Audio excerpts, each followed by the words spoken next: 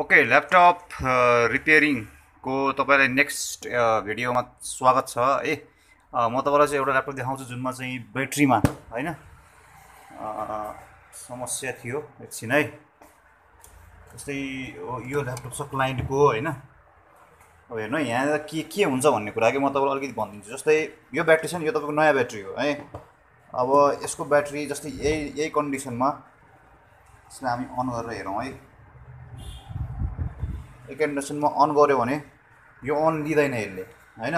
अब तपाईँको यसमा चार्ज जोड्यो भने पनि चार्ज जोडिसकेपछि अन त लिन्छ तर तपाईँको के हुन्छ भने एकछिनमा अफ भइहाल्छ है? ब्याट्री चार्ज पनि हुँदैन। जुन ब्याट्री तपाईँको यहाँ पछाडि छ यसको ब्याट्री चार्ज हुँदैन ल्यापटप अन हुन्छ र एकछिनमा तपाईँको दुई तिन मिनटमा तपाईँको ल्यापटप अफ हुन्छ। अनि जब तपाईँको चाहिँ यो ब्याट्री हामी झिक्छौँ नि यो पुरानो ब्याट्री एकछिनै म झिक्छु। जब हामीले यो पुरानो ब्याट्री झिकेर डाइरेक्ट चार्जरबाट चलाउँछौँ ल्यापटप मजाले चल्छ है? हो यो केस तपाईँलाई आउनसक्छ क्या? नर्मल्ली चाहिँ के हुन्छ भने सुरुमा थाहा नहुनेहरूले के गर्न सक्नुहुन्छ भने ब्याट्री बिग्रेको छ भन्नुहुन्छ चार्ज लगाउनुहुन्छ कम्प्युटर खुल्छ कम्प्युटर बन्द हुन्छ होइन? ब्याट्री झिकेर चार्ज जोडेर हेर्नुहुन्न कि उहाँहरूले?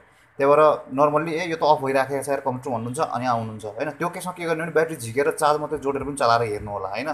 एउटा चाहिँ तपाईँलाई नलेजको कुरा त्यो भयो यो चाहिँ तपाईँको अब यसको रिप्लेस ब्याट्री हो है नयाँ ब्याट्री हो अब यो राखेर त हामी यहाँ हेऱ्यौँ भने चाहिँ यो अन पनि भइराखेको छ ब्याट्रीबाट चलि पनि राखेको छ तपाईँको यो चाहिँ कस्तो हुन्छ भने यो पुरानो खाले राखेर गर्दाखेरि चाहिँ अन नगरे पनि तपाईँको चार्ज पनि हुँदैन रेड लाइट ब्लिङ्क हुन्छ होइन अन गर्दाखेरि ल्यापटप अन त हुन्छ तर चार्ज जोडेर गरेपछि अन हुन्छ यो राखेर तर एकछिनमा अफ हुन्छ क्या फेरि यो राख्यो भने चाहिँ त्यही भएर तपाईँको चाहिँ ब्याट्रीबाट चल्ने भएन ब्याट्री सँगसँगै चार्जर जोड्यो भने पनि तपाईँको चाहिँ अफ हुने भयो।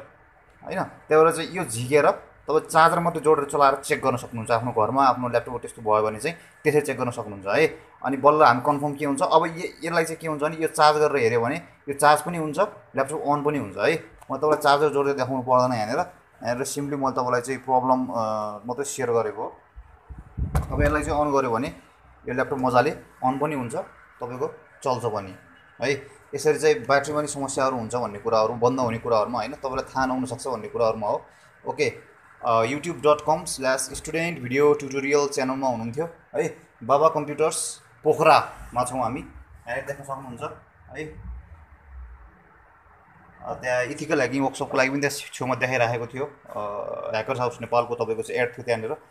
इथिकल ह्याकिङ वर्कसपहरूको कुराहरूमा है? ओके यति नै थियो यो भिडियोको लागि। Stay tune for next video है त?